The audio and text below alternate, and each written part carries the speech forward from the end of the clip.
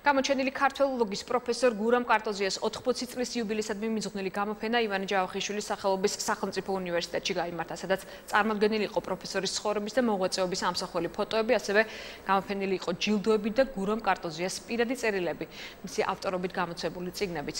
გურამ კარტოზიას ცხოვრება უკავშირდებოდა როგორც სამეცნიერო, ასევე პედაგოგიურ მოღვაწეობას. პროფესორი კითხულობდა ლექციებს როგორც სულხან საბაურბელიანის უნივერსიტეტში, ასევე ივანე ჯავახიშვილის თბილისის სახელმწიფო უნივერსიტეტში. გამოფენაზე წარმოდგენილია დიდარი ფოტომასალა, რომელიც აღნიშნავს ბატონი გურამის ცხოვრებისა და მოღვაწეობის გზას. ასევე გამოფენილია ხელნაწერები, საექსპედიციო ჩანაწერები. იგი ქართოლოგიის მრავალ დარგში მოღვაწეობდა. ეს გახლავთ ქართოლური ენები, ტექსტოლოგია, რუსთველოლოგია, ფოლკლორისტიკა.